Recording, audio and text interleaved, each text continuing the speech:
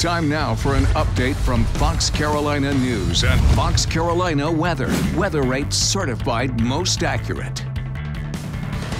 Hi there, everyone. Meteorologist Bryan Bachman here after what was a foggy start for a lot of us in the upstate on our Tuesday morning. That fog certainly was dense at times.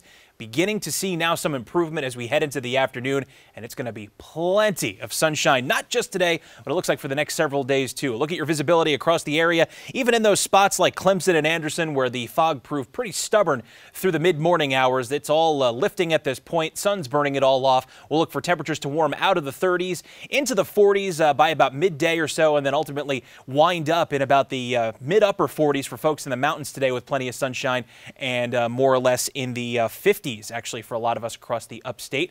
Fox Radar 3D showing the last even of the cloud coverage working itself out of the region today. So all good things in the days ahead. Upstate today, we'll expect high temperatures in the mid 50s as the sun returns, upper 40s. But if you can get into that sunshine in the mountains, it's going to feel great. Middle to upper 50s for both the upstate and the mountains on Wednesday to go along with sunny skies and a return to the 60s upstate by the time we roll on into Thursday. Don't forget, you can always get your forecast and continuing news coverage on our newscasts throughout the day and evening. Don't forget to download the Fox Carolina News app and check us out on Facebook and YouTube.